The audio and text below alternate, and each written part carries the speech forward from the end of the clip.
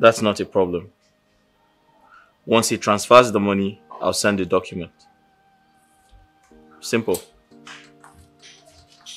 Yeah, yeah, it's in my mail. I'll just send the document once he transfers the money. Alright. Alright, thank you. Yeah. Honey, Yeah.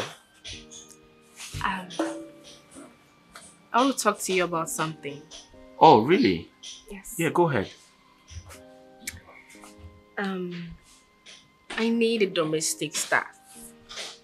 Someone to help me with, you know, house chores and all of that. Oh, uh, that's not a problem. Uh, my mother is coming to pay us a visit next week, so you have nothing to worry about. Mama. Yes, Mama. Honey, I, I'm talking about an assistant. like, you know, like a maid.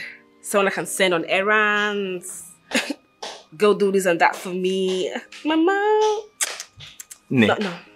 Mama is a very nice person. She's going to do all of that for you. Trust me. You like her.